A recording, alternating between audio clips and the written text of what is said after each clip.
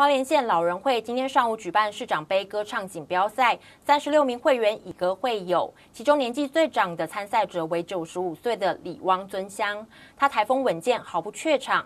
县老人会理事长高明兴也感谢花莲市长的支持，举办这场歌唱活动。花莲县老人会理事长高明兴感谢花莲县政府提供舒适场地，让老人家走出户外，拓展社交生活。也感谢市长魏家贤重视老人家的娱乐，特别支持举办歌唱比赛，让大家以歌会友，进而提升生活的趣味。我们这边啊，因为老人家他都喜欢唱歌。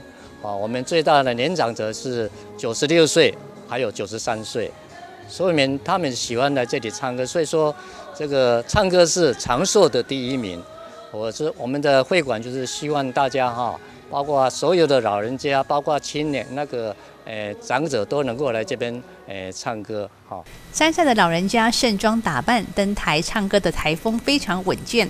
比赛歌曲有国语、台语，还有日语歌。